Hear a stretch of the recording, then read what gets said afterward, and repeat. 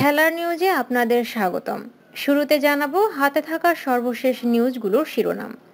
IPL এর নিলামে সর্বোচ্চ ভিত্তিমূল্যের ক্যাটাগরিতে সাকিব নাম লিখিয়েছেন পাঁচ বাংলাদেশি। এবারে জানাব বিস্তারিত। আশা করছি পুরো সময় আমাদের সাথে থাকবেন। ইন্ডিয়ান প্রিমিয়ার লিগ আইপিএল এর আগামী আসরের প্রস্তুতি শুরু হয়ে গেছে। শুক্রবার পাঁচ ফেব্রুয়ারি বিসিসিআই প্রকাশ করেছে নিলামে নিবন্ধিত ক্রিকেটারদের সংখ্যা। এবারের আইপিএল এর জন্য নিলামের নাম লিখিয়েছেন বাংলাদেশের পাঁচ ক্রিকেটার। যদিও ক্রিকেটারদের নাম এখনও প্রকাশ করা হয়নি। মোট দুশো তিরাশি জন বিদেশি ক্রিকেটার নাম লিখিয়েছেন এবারের নিলামে। এছাড়া ভারতের এক হাজার সাতানব্বই জন ক্রিকেটার নিলামের জন্য নাম নিবন্ধন করেছেন। আগামী আঠারো ফেব্রুয়ারি অনুষ্ঠিত হবে চোদ্দতম আসরের নিলাম। নিলামের পুরো আয়োজন হবে চেন্নাইয়ে, যা শুরু হবে স্থানীয় সময় দুপুর তিনটায়। নিলামে যে কয়জন ক্রিকেটারের দিকে দলগুলোর তীক্ষ্ণ দৃষ্টি থাকবে, তাদের একজন বাংলাদেশি ক্রিকেটার। সহজেই অনুমেয় তিনি সাকিব আল হাসান।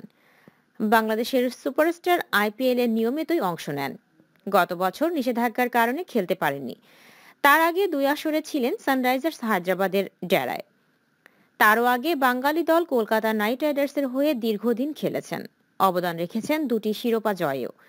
সেই সাকিব এবারও আইপিএল এর অন্যতম মূল আকর্ষণ। চোদ্দতম আসরকে সামনে রেখে নিলামে এগারো জন ক্রিকেটারের ভিত্তি মূল্য ধরা হয়েছে দুই কোটি রুপি, যা নিলামের সর্বোচ্চ ভিত্তিমূল্য এই এগারো ক্রিকেটারের একজন সাকিব। সাকিব ছাড়াও দুই কোটি ভারতীয় রুপি ভিত্তিমূল্যে নিলামে শোভা পাবে আরও দশ ক্রিকেটারের নাম।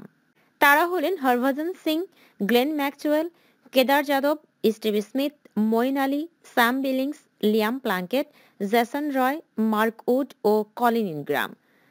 আগামী আঠারো ফেব্রুয়ারি চেন্নাইয়ে চোদ্দতম আইপিএল এর নিলাম অনুষ্ঠিত হবে।